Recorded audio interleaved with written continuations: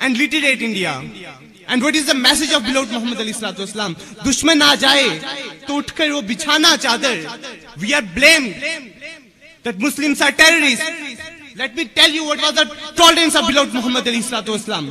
Once, beloved Muhammad Ali Salatu Islam was with the beloved companions. And on the same time, there was a final procession of a Jew.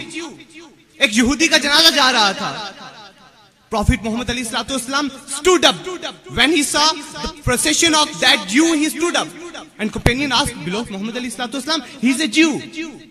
Look at the teachings of beloved Muhammad Ali Islam. Let us compare our manners, our virtue with him, with his.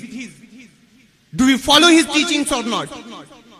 He replied, Yes, dear companions, I know he is a Jew. Isn't he human? Should not I respect a human? This is the tolerance which is taught by beloved Muhammad Ali Islam. And this is the real image of Islam and which